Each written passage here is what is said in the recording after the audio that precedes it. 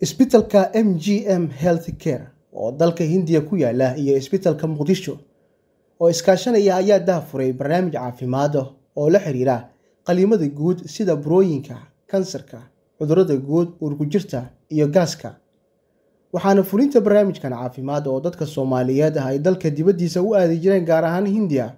uu ka socdaa isbitalka weyn ee magaalada muqdisho oo ku yaalla degmada yaakshid ee gobolka banaadir dhakhaatiir ka timid dalka hindiya ayaa qayb ka ah fulinta mashruucan oo loogu talagalay in dadka soomaaliyeed ay ka faa'iidaystaan. Inta dhakhaatiirtan ay dalka ku sugan yihiin iyaga oo bixinaya adeegyada caafimaad oo dadkeena ay u aadaan dalka dibaddiisa. Agaasima ku-xigeenka isbitalka muqdisho maxamed maxamuud cabdulle cigaal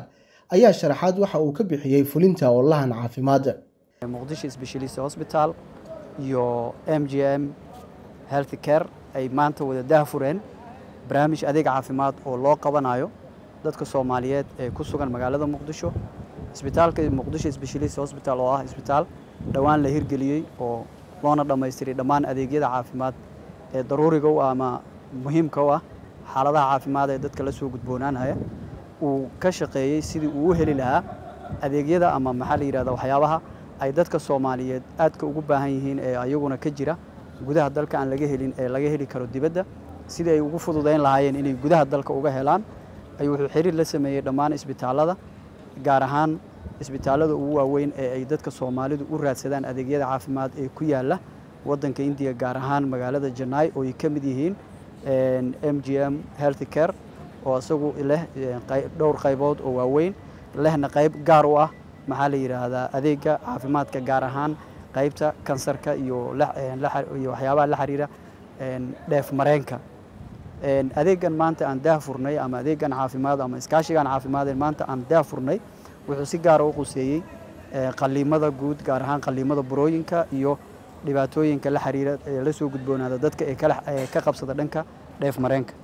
Waxa uu isbitaalka iyo m g m health care ay wada qorsheynayaan inay hawshaas sii wadaan adeegyo horleh oo cusubna ay wada keeni doonaan. Isbitaalka muqdishona uu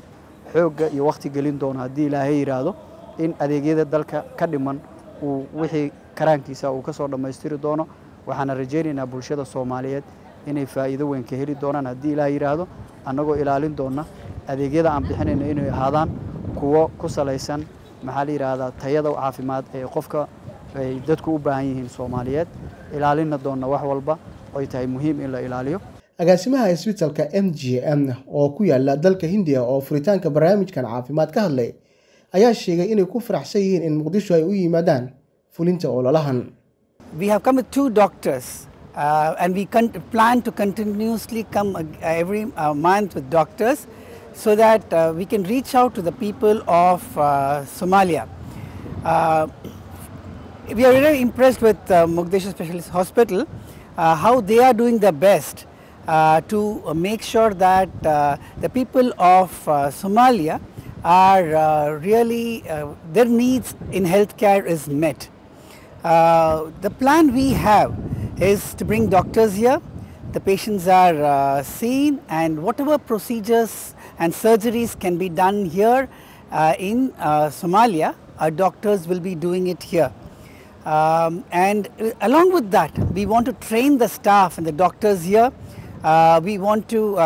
so that along with them, the procedures can, they can all do things by themselves. We also are taking the doctors and um, uh, and nurses and specialists to uh, India and MGM Healthcare will train them